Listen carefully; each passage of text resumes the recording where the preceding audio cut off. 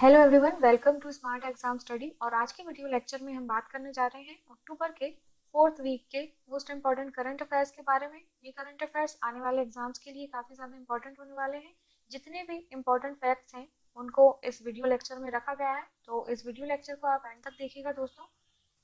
शुरुआत करते हैं पहले क्वेश्चन से हाल ही में कौन लगातार तीसरी बार गिनी के राष्ट्रपति चुने गए हैं तो ये है अल्फा कौंडे याद रखेगा इंपॉर्टेंट क्वेश्चन है फोर्ब्स द्वारा जारी विश्व के सर्वश्रेष्ठ नियोक्ता 2020 की सूची में किस कंपनी ने शीर्ष स्थान प्राप्त किया है तो ये कंपनी है सैमसंग किस राज्य ने सिंगल यूज प्लास्टिक का उपयोग रोकने के लिए प्लास्टिक प्रीमियर लीग प्रतियोगिता शुरू की है तो ये काफी ज्यादा इंपॉर्टेंट क्वेश्चन है अपने आप में ही ये राज्य है मध्य प्रदेश हाल ही में भारत एवं किस देश के बीच basic exchange corporation agreement BECA e पर हस्ताक्षर हुए तो भारत ने अमेरिका के साथ बीईसीए e पर हस्ताक्षर किए हैं 26 अक्टूबर को किसने वीडियो कॉन्फ्रेंसिंग के माध्यम से चौथे इंडिया एनर्जी फोरम का उद्घाटन किया है तो चौथा इंडिया एनर्जी फोरम का उद्घाटन किया पीएम मोदी ने किस देश ने हरिवंश राय बच्चन के नाम पर एक चौराहे का नाम रखा है तो ये देश है पोलैंड वेवेल रामकलन जो कि भारतीय मूल के व्यक्ति हैं को किस देश का राष्ट्रपति चुना गया है तो ये देश है सशेल्स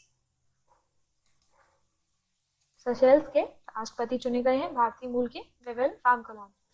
लोएस एरसे को किस देश के राष्ट्रपति के रूप में चुना गया है तो बोलीविया के राष्ट्रपति चुने गए हैं लुइस एरसे याद रखिएगा इंपॉर्टेंट क्वेश्चन है शशिधर जगदीशन को किस बैंक के नए एमडी और सीईओ e के रूप में नियुक्त किया गया है तो ये बैंक है एचडीएफसी बैंक किस राज्य ने प्रत्येक जिले में मानव तस्करी विरोधी पुलिस स्टेशन स्थापित करने का निर्णय लिया है तो ये राज्य है यूपी या उत्तर प्रदेश केंद्रीय मंत्री मनसुख मांडविया ने किस बंदरगाह पर डायपोर्ट डायरेक्ट पोर्ट एंट्री सुविधा शुरू की है तो ये बंदरगाह है वी ओ चिदम्बरनाथ पोर्ट याद रखिएगा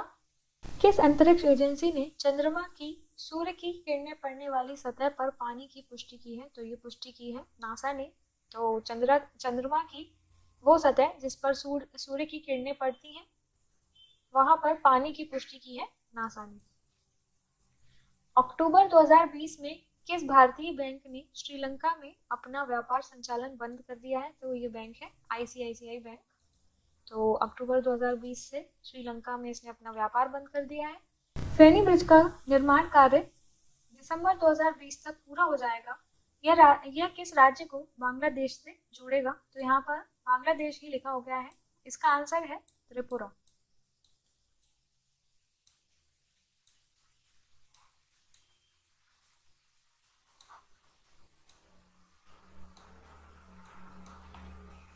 तो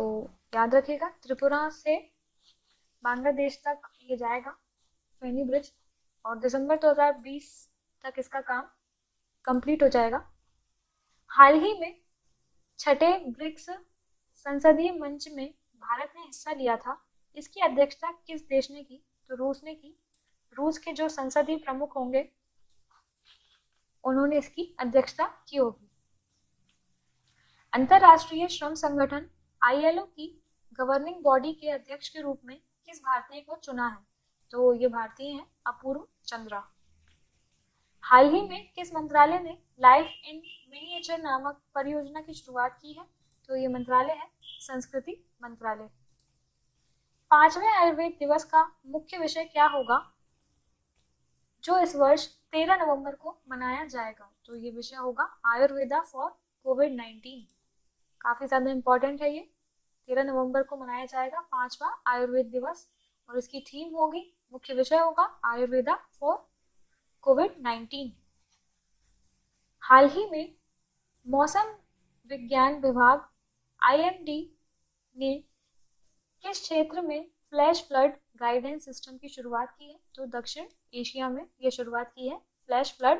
गाइडेंस यूरोपीय संघ के शीर्ष मानवाधिकार काफी ज्यादा इंपॉर्टेंट क्वेश्चन है सखा रोग पुरस्कार 2020 से किसे सम्मानित किया गया तो श्वेत लाना तिखानो वस्काया तो ये नाम थोड़ा अलग सा है तो इसको अच्छी तरह से याद रखिएगा श्वेत लाना तिखानो वस्काया रोग पुरस्कार 2020 से M A C S six four seven eight किस फसल की एक किस्म है जिसे पुणे स्थित आगरकर शोध संस्थान ने विकसित किया है तो ये फसल है गेहूँ ऐसे क्वेश्चन अक्सर एग्जाम्स में पूछ लिए जाते हैं जिनका मतलब हमें नहीं पता होता कि M A C S six four seven eight क्या है हाल ही में जो चर्चा में रहा तो धान की किस्म है या गेहूं की एक किस्म है या एक मिसाइल का नाम है तो इस तरह के ऑप्शन आपसे पूछ लिए जाते हैं तो आपको पता होना चाहिए ये गेहूं की एक किस्म है बढ़ते हैं अगले क्वेश्चन की तरफ 30 अक्टूबर को भारत ने किस लड़ाकू विमान से BrahMos supersonic BrahMos supersonic cruise missile का परीक्षण किया है तो ये लड़ाकू विमान है Sukhoi thirty M K I Sukhoi thirty M K I India international film festival of Boston 2020 में किस एक्टर को मरणोपरांत लाइफ टाइम अचीवमेंट अवार्ड दिया गया तो ये एक्टर थे ओम पुरी जिनको मरणोपरांत लाइफ टाइम अचीवमेंट अवार्ड दिया गया India international film festival of Boston 2020 में किस राज्य ने पीएम स्वनिधि योजना के कार्यान्वयन में पहला स्थान हासिल किया है तो ये राज्य है यूपी 720 मेगावाट की बेचू जल विद्युत परियोजना भारत की सहायता से किस देश में बनाई गई है तो ये जल विद्युत परियोजना बनाई गई है भूटान में भारतीय सेना ने किस नाम से एक सुरक्षित और आसान मैसेजिंग ऐप विकसित की है तो एस ए आई इसका नाम है राष्ट्रपति ने किस शहर में वायु गुणवत्ता प्रबंधन के लिए आयोग गठित करने संबंधी अध्यादेश जारी किया है तो ये राज्य होगा या शहर होगा दिल्ली किस भारतीय संगठन ने UN global climate action award 2020 जीता है तो ये जो संगठन है इसका नाम है ग्लोबल हिमालयन एक्सपीडिशन तो इसको मिला है UN global climate action award 2020 याद रखिएगा काफी इंपॉर्टेंट क्वेश्चन था किस राज्य में स्थित कबरताल आर्द्र भूमि को रामसर स्थल का दर्जा दिया गया है तो ये काफी ज्यादा इंपॉर्टेंट क्वेश्चन है very very important question Bihar में है ये कबरताल आर्द्र भूमि सब्जियों के लिए न्यूनतम समर्थन मूल्य तय करने वाला देश का पहला राज्य कौन बन गया है तो पहला राज्य बन गया है केरल जिसने सब्जियों के लिए न्यूनतम समर्थन मूल्य तय किया है ज्यादातर न्यूनतम समर्थन मूल्य होता है अनाज वगैरह के लिए सब्जियों के लिए ऐसा करने वाला ये पहला राज्य है केरल अगला क्वेश्चन सात नवंबर को इसरो किस रॉकेट की मदद से earth observation satellite E e O S zero one launch करेगा तो ये रॉकेट है P S L V C four nine तो ये तो दोस्तों मोस्ट इम्पॉर्टेंट करंट अफेयर्स अक्टूबर के फोर्थ वीक के उम्मीद करते हैं आपको इन करंट अफेयर्स से काफ़ी कुछ सीखने को मिलेगा और आगे हमारे चैनल को सब्सक्राइब कीजिए ऐसे ही वीडियोस को देखने के लिए